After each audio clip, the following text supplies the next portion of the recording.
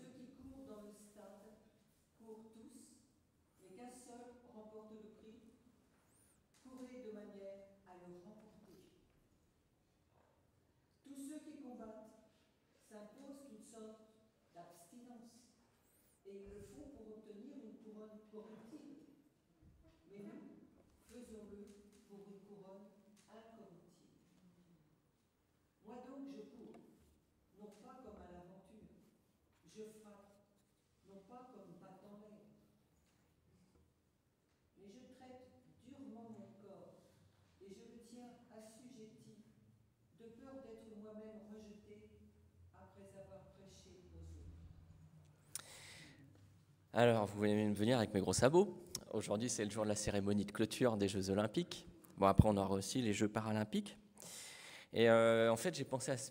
Avant, parce que je me demandais, euh, comme il n'y a pas de thème imposé pour l'été, comme il n'y a pas de. Voilà. Je me dis sur quoi euh, je devais prêcher, mais sur quoi?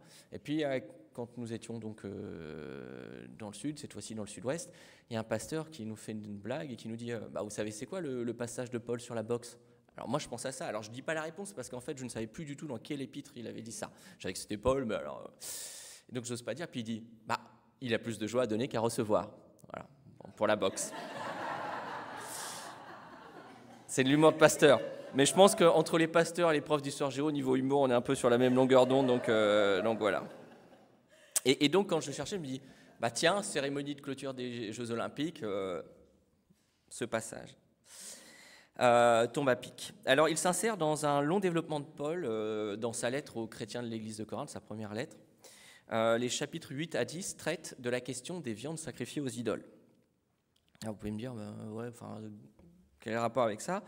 Et en fait, euh, pour nous, à une époque où certains eh bien, mangent de tout, d'autres sont végétariens, flexitariens aujourd'hui, euh, d'autres mangent sans gluten, sans lactose. Ça me fait bien rire des, fois du, pain sans gluten, du lait sans lactose. J'ai du mal à comprendre le concept. C'est comme la bière sans alcool. Enfin voilà. Euh, certains mangent halal, d'autres cachère. Nous, on se préoccupe pas trop. Hein. chacun mange ce qu'il veut et, voilà. Ou alors des sodas euh, allégés, sans sucre. mais dans les cités antiques, c'est une question beaucoup plus fondamentale. Parce que les fêtes civiques, les fêtes en l'honneur des divinités, donnaient lieu à des sacrifices. Et ce que nous, on appelle les Jeux olympiques, euh, et en fait, ils appelaient ça les concours olympiques. Euh, il n'y avait pas que ça, en fait, parce qu'il y avait des concours, alors à la fois sportifs, mais aussi euh, littéraires. il y en avait plusieurs, c'était pas le seul. Il y avait d'ailleurs quatre grands concours, dont, je vais parler après. mais ces concours olympiques, ou même des grandes fêtes de la cité, comme les Panathénées à Athènes, étaient tous en l'honneur d'une divinité. À l'Olympie, c'était au sanctuaire de Zeus. À Athènes, c'était Athéna. Et même les esclaves et les, étrangers installés participaient à ces grandes fêtes, ces grandes processions, ces grandes cérémonies. Et ça donnait lieu à des sacrifices aux divinités, et puis on se partageait la viande. Comme dans, au temple de Jérusalem, dans la loi de Moïse, il y a certains sacrifices qui sont brûlés, et en particulier les holocaustes qui sont totalement consumés. Il y en a d'autres, une part en revient aux prêtres qui font le sacrifice, et puis une autre part des sacrifices qui reviennent à ceux qui y ont offert. Et là, dans les cités grecques, eh bien, quand on faisait ces sacrifices, on, on partageait. Et c'était des grandes fêtes civiques, qui étaient à la fois civiques et religieuses. C'est un peu comme si nous, on faisait une fusion du 14 juillet et de Pâques, ou de Noël et d'une autre fête. Voilà. Donc ne pas prendre part à, ces, à ces grands banquets, c'était aussi se mettre en retrait, s'auto-exclure de, la collectivité. Donc c'est pour ça que euh, pour les chrétiens juifs, c'était logique. Chrétiens d'arrière-plan juif, on ne mange pas... Euh, Justement, on mange cachère, donc on s'abstient de ça. Mais pour ceux qui étaient insérés dans la société à Corinthe ou ailleurs, ça a été une question brûlante parce que ça, mettait au banc. Et donc, déjà, on voit que le chrétien, il est dans une tension entre la société dans laquelle il s'insère et bien le, fait d'appartenir à l'Église chrétienne. Et rendons à César ce qui est à César. Dans l'introduction de la traduction œcuménique de la Bible à cette première lettre de Paul aux chrétiens de Corinthe, voilà ce qu'il est dit. Les questions particulières traitées par Paul dans cette épître dérivent d'un problème fondamental qui s'est posé à toutes les époques de l'histoire de l'Église et qui se pose aujourd'hui plus que jamais, celui de l'enracinement du message chrétien dans une culture différente de celle où il est apparu. Il s'agit du passage de la culture juive à celle du monde grec, qui est animée par des choses différentes que la culture d'origine et qui est foncièrement païenne, et qui a tendance à vouloir assimiler le message chrétien et à retenir du message chrétien que ce qui l'intéresse. L'attitude de Paul est à la fois ferme et nuancée. Il insiste vigoureusement sur l'aspect de rupture, en condamnant les comportements et les doctrines qui sont inconciliables avec le message chrétien. Mais quand il n'y a pas d'inconciliabilité, euh, eh bien, il est accueillant. Et donc, le, chrétien, ça peut amener à dire bah, je ne fais pas certaines choses que ma société fait. Mais d'un autre côté, ça peut être aussi je fais les mêmes choses, mais je le fais dans un autre but. Et si on devait donner un titre à cette prédication, puisque Paul parle d'un prix, c'est après quel prix cours-tu? Des fois, on peut dire, oui, bah, bien gentil, Paul, mais moi, je suis dans ma société, euh, je suis bien obligé de travailler, de, vivre, etc., etc. Hein. et, et oui, on est bien obligé de travailler, mais on doit travailler d'une façon différente. Si pour nous, le travail, c'est écraser les autres, toujours se faire valoir, accumuler le plus d'argent possible pour avoir le plus de biens possible, et eh bien finalement, là, on est totalement assimilé. Et donc, on est bien, on, est amené aussi à faire les mêmes choses que les autres, mais parfois avec un autre but, de façon différente. Alors, Paul euh, est amateur de la métaphore sportive, parce que plusieurs fois il parle de la lutte, du combat, euh, de la course dans ses lettres. Hein, il dit par exemple aux chrétiens de, de Galatie, aux Galates, vous courriez bien, qui vous arrêtez pour vous empêcher euh, d'obéir à la vérité? Et aux Philippiens, aux chrétiens de l'église de Philippe, il leur dit Faites tout sans murmure ni contestation, afin d'être irréprochables et purs, des enfants de Dieu sans défaut, au milieu d'une génération perverse et corrompue. C'est comme des flambeaux dans le monde que vous brillez parmi eux, en portant la parole de vie. Je pourrai alors être fier, le jour de Christ, de ne pas avoir couru ni travaillé pour rien. Et au chapitre suivant, il leur dit aussi Ce n'est pas que j'ai déjà remporté le prix ou que j'ai déjà atteint la perfection, mais je cours pour tâcher de m'en emparer, puisque de moi aussi Jésus-Christ s'est emparé. Frères et sœurs, je n'estime pas m'en être moi-même déjà emparé, mais je fais une chose, oubliant ce qui est derrière et me portant vers ce qui est devant, je cours vers le but pour remporter le prix de l'appel céleste de Dieu en Jésus-Christ. Et puis il lui fera aussi à la fin de sa vie une dernière référence dans sa deuxième lettre à Timothée, mais que j'évoquerai euh, un peu plus tard. Et donc, dans toutes les cités grecques, il y avait des installations sportives. On voit bien que la Grèce a influencé le monde entier, puisque les Jeux olympiques ont une résonance planétaire. Euh, mais ce passage euh, est particulier aussi pour Corinthe. Pourquoi? Parce que justement, en dehors d'Olympie, il y avait trois autres cités où il y avait des concours qui réunissaient tous les Grecs, et dont à Corinthe. Et euh, en fait, Corinthe, c'était un passage, un petit passage de terre entre la Grèce du Nord et du Centre et la Grèce du Sud.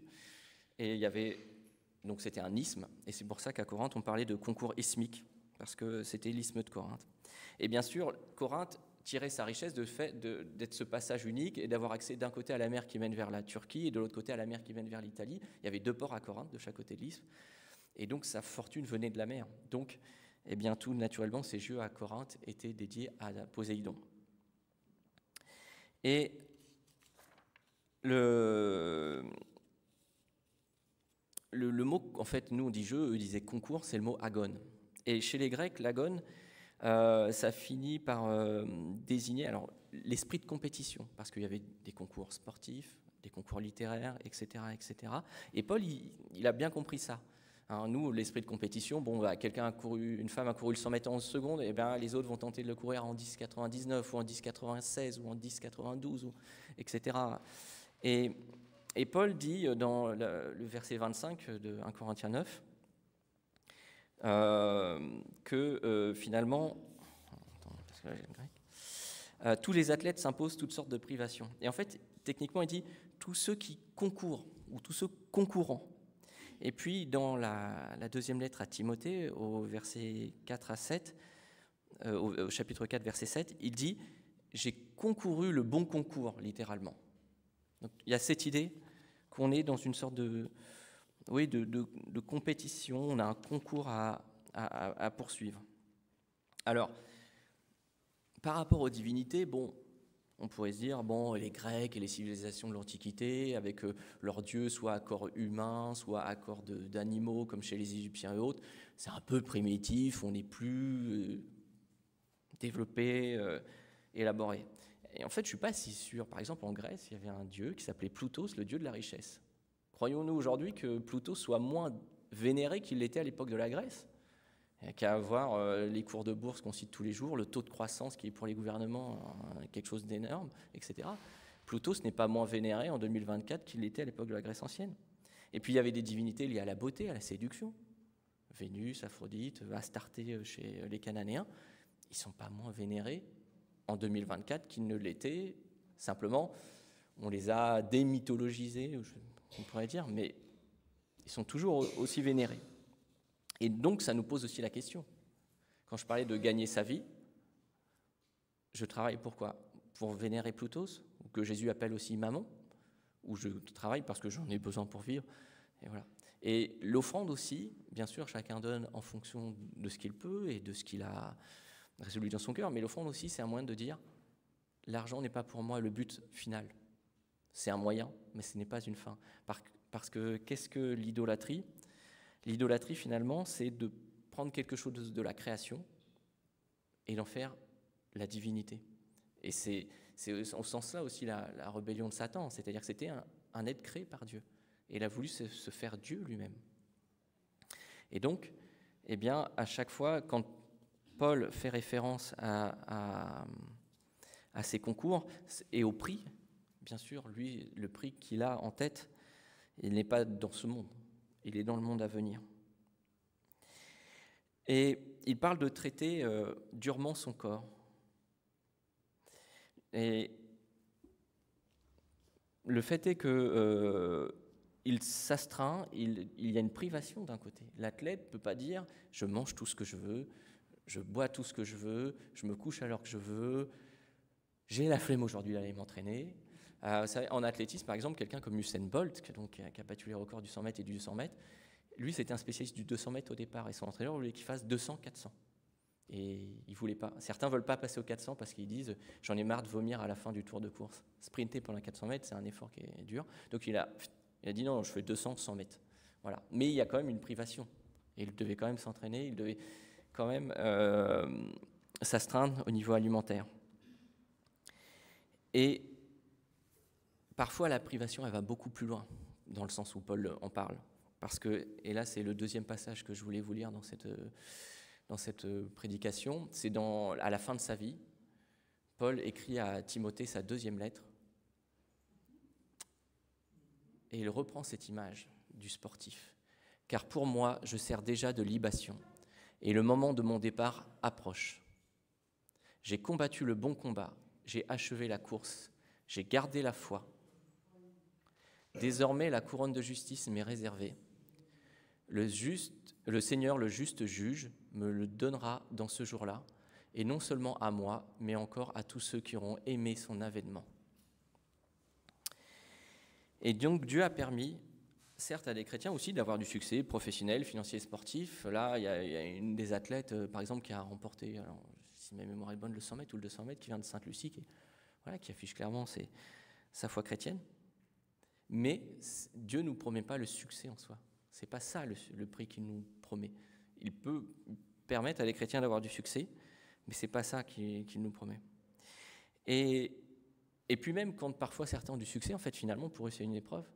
Combien d'athlètes ou de, de personnalités de la chanson, de, du cinéma et autres, quand ils ont eu le succès, la richesse, la gloire, ont complètement déraillé où certains sont, morts jeunes, euh, d'overdose, d'accidents de la route causés par l'alcool et autres, et finalement on se dit, euh, ils n'ont pas toujours une vie plus heureuse. Voilà. Et d'ailleurs, à chaque génération, on voit des, des, des, gens qui ont vraiment du succès et qui se suicident. Voilà. Alors, euh, selon les générations, les références ne parlent pas forcément pareil, mais il y, en a, toujours eu. Où là, euh, il y avait une chanteuse qui avait, avec son groupe qui avait performé euh, quand j'étais ado, etc. Et puis en 2018, on l'a retrouvée ivre, assez noyée dans son bain, dans un hôtel. Et pourtant, enfin, je veux dire, les gens se disaient, si j'avais son succès, son compte en banque, etc., ça serait génial. Et pourtant, ça l'a tué. Et donc, ce que Paul parle, c'est d'une couronne qui est incorruptible et qui vaut parfois même de payer le prix fort. Euh, je vais vous lire un petit passage euh, d'un livre d'un pasteur qui s'appelle Richard Wurmbrandt. Alors, Wurmbrandt. Alors, c'était un pasteur roumain. Alors, avant d'être pasteur, bon, il a grandi dans une famille juive qui n'était pas pratiquante. Il a été communiste à l'époque. La Roumanie était une dictature d'extrême droite. Il a été persécuté. Puis après la Seconde Guerre mondiale, la Roumanie est devenue communiste, mais lui était devenu chrétien. Donc il a été repersécuté, il a passé 16 ans en prison, sa femme a été emprisonnée, son fils a été emprisonné. Et euh, il a connu des choses terribles sous la dictature communiste. Et il parle justement du corps et de l'esprit. Des tortures infligées par les bouchers communistes émanent une grande leçon. L'âme est maîtresse du corps. Souvent, au milieu des tourments, la douleur que nous ressentions nous paraissait quelque chose d'étranger, qui se passait très loin de notre âme perdue dans la gloire du Christ présent en nous. Nous touchions une tranche de pain par semaine et une soupe infecte chaque jour. Nous décidâmes d'en tirer une dîme. Toutes les dix semaines, nous donnions notre tranche de pain à un frère plus faible, à titre de dîme au Seigneur. Un chrétien avait été condamné à mort. Avant l'exécution,